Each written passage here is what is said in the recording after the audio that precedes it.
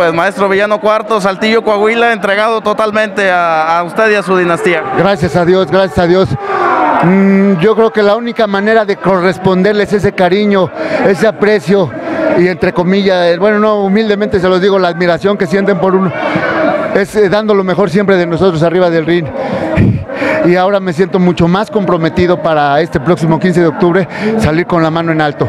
Siete días para Triple Manía 30, algo que, en las redes sociales se está comentando cada vez que se acerca la, fecha, se incrementa más el tema de Villano Cuarto. ¿Cómo se siente en estos momentos? Pues eh, bien, físicamente ahorita me sentí bien. Lógico, tengo que seguir entrenando, preparándome. Dos, los dos últimos días ya tengo que estar relajándome, pero estos tres días que estos tres, cuatro, tres días que me faltan a darlo todo en el entrenamiento para poderme recuperar los siguientes días, dos días después, para estar en óptimas condiciones para el 15 de octubre. Y pues también, no nada más físicamente te tienes que preparar, te tienes que preparar psicológicamente para llegar calmado, tranquilo. Eh, que no haya nada ahorita que me quite mi tranquilidad y mi paz.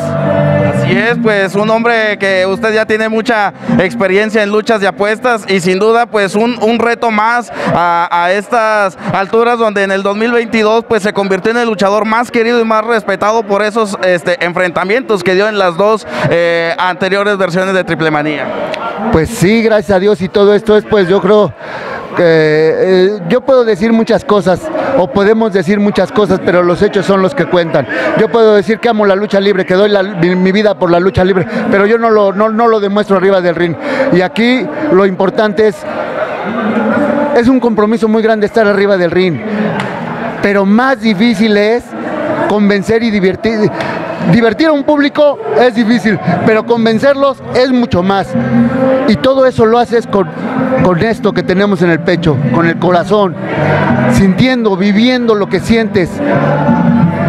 Y eso es yo creo que lo que me ha hecho, y lógico, la preparación, la preparación principalmente. Pero yo creo que eso es lo que me ha hecho salir adelante. Aunque he perdido, y llegué a, la, a lo más duro, a exponer mi máscara, pero eh, los resultados de las luchas, los comentarios de la gente me hicieron sentirme un poquito más tranquilo. Pero como tú dices, yo creo que todo es con la entrega, el cariño, el amor, la dedicación que le pongas. La oportunidad también de, vengar las caídas de Villano tercero y Villano quinto. Pues eh, yo creo que no soy yo el redentor ni el vengador, ¿no? No, yo soy un integrante más de la dinastía imperial que tiene que, sacar la casta. No por nadie, por mí. Y la única manera es preparándome para poder salir adelante este próximo 15 de octubre. ¿Qué pasaría si Villano Cuarto pierde la máscara el próximo 15? No decir, no te puedo decir, no, no, no, no lo pienso yo así, yo no lo veo así. Yo no lo veo así.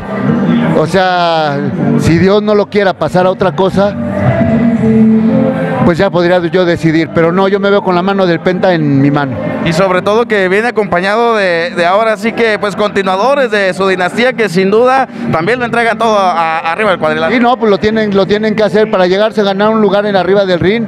En el mundo de la lucha libre tienes que entregarte más, más de, de lo que puedas dar. Tienes que entregarte en cuerpo, corazón y vida.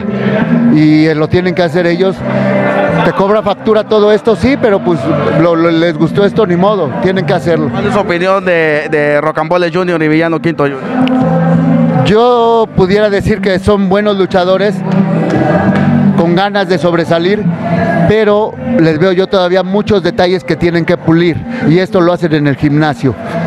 Yo veo todavía muchos errores en ellos, veo muchas faltas en ellos, pero aquí yo no, no es lo que diga yo, es lo que el público decida pero yo sí me he dado cuenta que las últimas veces que hemos luchado han dejado su vida arriba del ring y pues que le sigan, nada más el gimnasio es la respuesta para todo esto. Que Villano Quinto Junior, pues tus impresiones de este, de este encuentro. ¿Qué te puedo decir contra la familia real?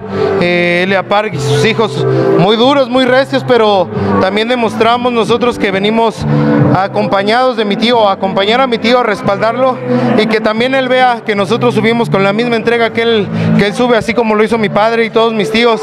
¿Qué te puedo decir? La gente se fue contenta y yo me voy contento. Aunque no ganamos esta noche, pero me voy contento porque la gente se fue contenta. No es la primera vez que se enfrentan a la, a la familia de, de, Elia Park y sin duda este, cada vez se conocen más arriba del cuadrilátero. La prueba de ello, pues estos duelos encarnizados que tienen. Pues sí, se está volviendo otra de las rivalidades que se están quedando con nosotros. Pues es como les hemos dicho a todos, a todos abrazos, eh, a otras este, dinastías. Aquí estamos puestos para lo que quieran. Y pues sí, sí, sí, sí, nosotros nos toca prepararnos aún más para que la gente se vaya con un buen sabor de boca. ¿Por qué? Porque al ver estos locales así de llenos, dan ganas de dejar más que el alma arriba del ring, la vida si es posible. Público completamente dividido también. Sí, y, y ¿qué, te, ¿qué, te, puedo decir? Es, es, una emoción muy grande, pero ahí está, no nos vamos dejando poco, vamos dejando mucho y no importa cómo bajemos, no importa cómo bajemos, siempre vamos a entregar todo. ¿Por qué? Porque gracias a ellos nos vamos a llevar el pan a nuestras casas. Sobre todo que el público reconoce hasta con dinero este encuentro, eh, como ya muchos de los que ya han protagonizado ustedes. Pues mira, gracias a Dios me siento afortunado, pero estas noches al lado de mi tío me hace valorar mucho toda su entrega, toda su pasión y me da mucha pila luchar al lado de él y yo quiero que me vea y que se sienta orgulloso de nosotros, que de verdad seamos unos buenos representantes de la nueva dinastía imperial. Y créeme que lo vamos a hacer. Vamos a hacer que toda nuestra familia se sienta orgullosa de nosotros. Sobre todo con este compromiso del próximo 15 de octubre, que unas palabras que le dediquen a su tío Villano Cuarto. Lo que yo puedo decir es, tío, que Dios te bendiga y como yo siempre le he dicho, cada quien tiene algo muy especial y ha dejado algo muy especial a la dinastía imperial. Pero tú, y como lo dice mi papá, tú eres el más aguerrido. Y yo sé, yo sé, sea cual sea el resultado, porque yo confío en que vas a ganar. Pero yo sé que, que le vas a dejar más que un recuerdo a ese hombre. Que le vas a dejar... le vas a dejar un espíritu con el cual él va a cargar con toda su vida. Yo lo que digo es, mi tío va a ganar. Yo tengo esa confianza. ¿Por qué? Porque es el más aguerrido, el más entregado, el más apasionado, el que más ha sufrido. ¿Por qué? Porque le tocaron a los misioneros. A él lo, lo, lesionaban y lo veían muy chico. ¿Y qué pasó? Mi tío se hizo más fuerte, más fuerte, más fuerte, hasta que de repente se volvió el más marcado de los villanos. El, el que ha tenido una de las lesiones más fuertes. Si vieras cómo, qué es lo que tiene aquí, la gente no recuerda, tiene una placa de titanio. Miren, miren, ahí está, es un ejemplo de la fortaleza. Y esa fortaleza yo sé que le va a demostrar. Dios, Dios te bendiga, te amamos y gracias por todo lo que nos estás dejando. Esperemos gracias. darte algún día ese lo que nos has dado. Sigan así, sigan así, Dios sigan así. Dios te bendice. Gracias. Tío, yo que te puedo decir, ¿sabes qué? Es lo único que te puedo decir. A lo único que te hace falta vencer es a tu ego.